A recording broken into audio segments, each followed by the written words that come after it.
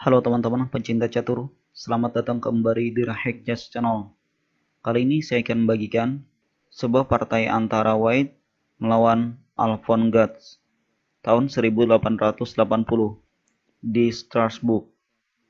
Ya, di sini White memulai dengan E4, dibalas Guts dengan E5, F4, King's Gambit, pion kali F4, Gambit diterima, putih B3, Orsini Gambit, sebuah gambit yang sangat jarang digunakan.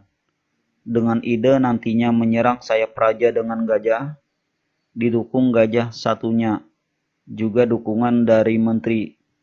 Sebuah ide yang sangat berbahaya untuk hitam.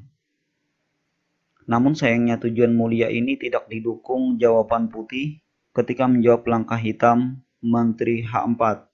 Skak memanfaatkan tempo dari variasi pembukaan ini.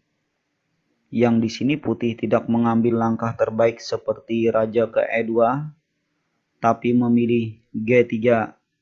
Tentunya pion kali G3 mengancam discover skak yang double attack-nya sangat berbahaya dan bergaransi.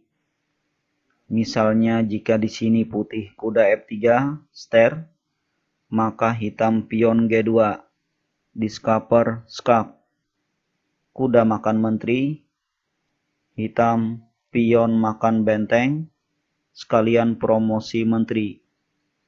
Garansi yang sangat menguntungkan karena mendapatkan benteng.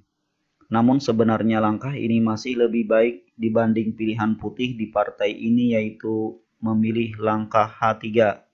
Hitam G2, Discover Skak, Raja E2, Menteri kali E4, Skak, Raja F2, Pion makan benteng, Promosi kuda, dan Skakmat. Kematian tanpa ada pertolongan dari perwira lain yang mungkin sedang melakukan PPKM. Ya, sekian video dari saya. Kalau teman-teman menyukai video ini silahkan share ke teman-teman yang lain. Terima kasih atas like dan komentarnya. Salam pecinta catur.